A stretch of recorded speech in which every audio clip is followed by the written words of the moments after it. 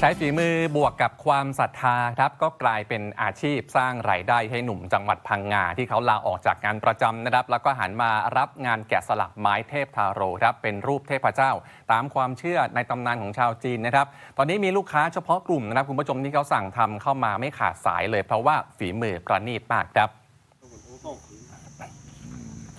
ต้นจวงหรือที่คนใต้เรียกกันว่าไม้เทพทาโรครับอยู่ในสกุลอบเชยเดี๋ยเป็นไม้มงคลพระราชทานประจำจังหวัดพังงาครับทุกส่วนของลำต้นมีกลิ่นหอม นิยมใช้แกะสลักงานฝีมือครับ โดยเฉพาะนำไปแกะสลักเป็นรูปเทพพระเจ้า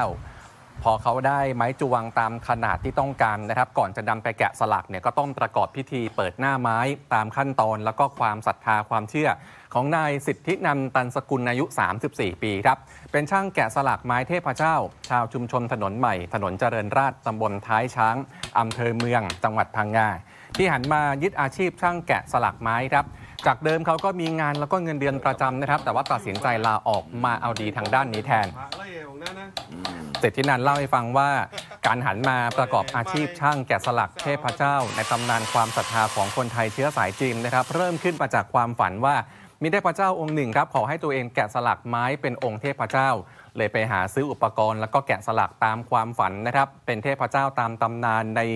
มือนั้นก็ถือค้อนแล้วก็สิวไปด้วย จึงคิดว่าน่าจะหันมาทำอาชีพด้านช่าง จากนั้นก็ลองรับแกะสลักพระนะครับ พร้อมกับสะสมเงินเดือน ไปซื้ออุปกรณ์เครื่องมือมาประกอบอาชีพอย่างจริงจัง ก็เป็นสิ่งพลิกผันจากอาชีพวิศวกรสู่ช่างแกะสลักไม้ครับ ซึ่งต้องใช้ไม้จวง หรือว่าไม้เทพทาโร เนื่องจากเป็นไม้มงคลนะครับ ไม้เนื้อหอม ส่วนขนาดก็ขึ้นอยู่กับความต้องการของลูกค้าครับ ส่วนใหญ่ก็เป็นสารเจ้าม้าทรง แล้วก็ผู้ที่มีจิตศรัทธา ด้วยความชำนาญประสบการณ์กว่า 10 ปีครับ ทั้งการใช้เลื่อย ใช้สิว ใช้ค้อมเครื่องเจียต่างๆ ก็เป็นไปอย่างคล่องแคล่ว พอแกะได้รูปร่างลักษณะที่เรียบร้อยนะครับ ก็ลงแป้งแล้วก็ขัดเนื้อให้เรียบ จากนั้นก็พ่นสีให้สวยงามครับ ผมส่วนใหญ่ลูกค้าจะเป็นม้าทรงซะส่วนใหญ่ครับ ใช่ เพราะว่าผมเน้น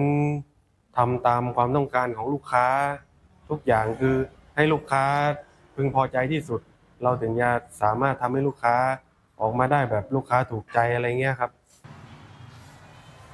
รายละเอียดแต่ละชิ้นไม่เหมือนกันนะครับ ซึ่งช่างแต่ละคนก็มีสูตรเฉพาะอย่างการผสมแป้งก็ไม่เหมือนกันนะครับ บางคนใช้ดินสอพอง บางคนใช้แป้งฝุ่นตามความถนัดเราพอถึงขั้นตอนการลงทองก็ใช้แผ่นทองคำเปลวแล้วก็ใช้สีผสมตกแต่งลวดลายตามแบบที่ลูกค้าต้องการครับ งานที่เขาถนัดในการรับแกะสลักนะครับ จะเป็นไม้ที่มีขนาดนะครับสัก 12 นิ้วจนถึง 60 นิ้ว หรือว่าถ้าอยากได้แกะสลักไม้ที่เล็กกว่านี้ หรือว่าใหญ่กว่านี้ก็สามารถสั่งทำได้เหมือนกันนะครับ ให้เบอร์ไว้อุดหนุนกันนะครับ ติดต่อได้ 085 574 2619 ครับ